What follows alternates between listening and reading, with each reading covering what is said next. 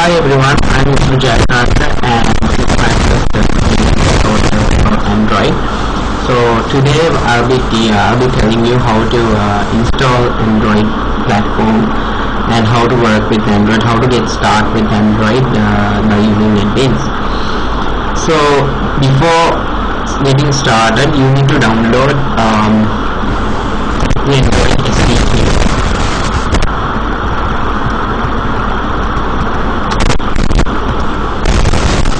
So way how you can download it.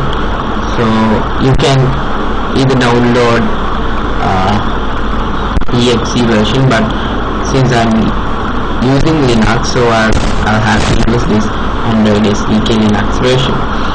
So next once you install it you can uh, so I have installed it to my home folder. So this is the folder. Uh, so once you do that you need to go to tools and android so open it run it.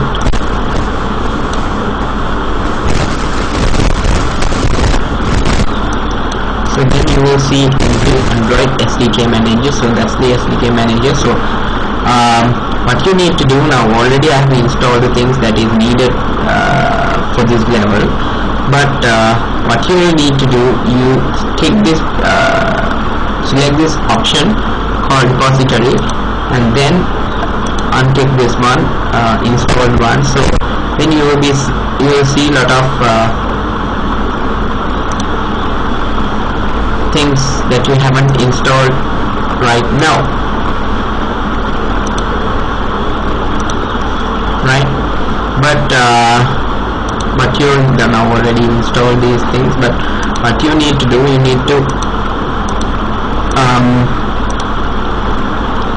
take this one android SDK platform tools right? And document for android SDK you need to install that.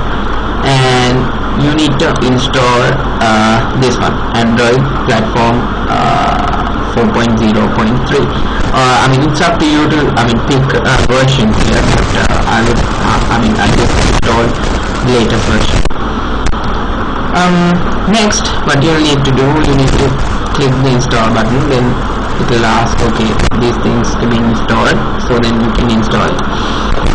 Uh, next once you finish that step you need to do next uh, close this one and we need to start the NetBeans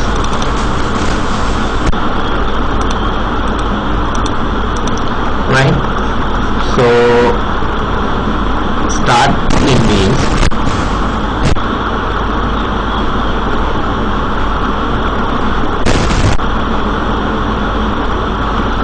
right so I have already created one application but haven't configured up to this point uh, I'll tell you how to do it so you go to tools plugins. And next you go to settings.